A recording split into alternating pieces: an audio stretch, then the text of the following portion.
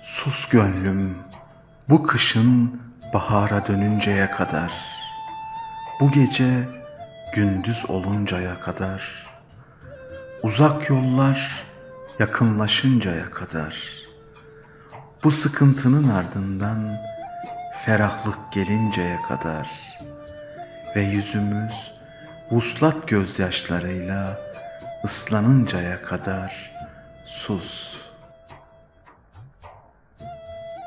Mühim olan yükseklere çıkıp hayata tepeden bakmak değildir.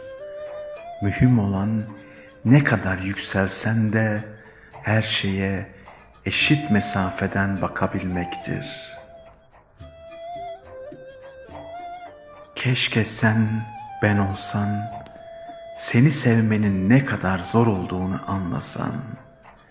Keşke ben sen olsam, bu kadar sevilmenin tadını çıkarsam.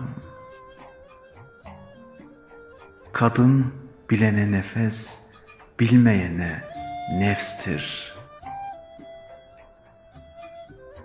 Kapımıza değil, kalbimize vuran buyursun. Ey insan, Kaf dağı kadar yüksekte olsan da kefene sığacak kadar küçüksün. Unutma, her şeyin bir hesabı var. Üzdüğün kadar üzülürsün. Ey benim yetim gönlüm, bırak gamlı düşünmeyi, sus ve sabret. Gözyaşının hesabını Rabbim sorsun, sen hakkını helal et.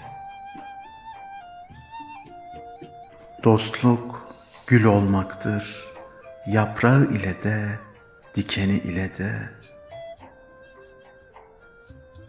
Rahmetin kapısı her an açık, senin kapın açık mı, sen ona bak. Yıkamakla çıkmayan tek pislik, kalplerde yağ bağlamış haset ve art niyettir. Tebessüm bedavadır. Vereni üzmez, alanı mutlu eder.''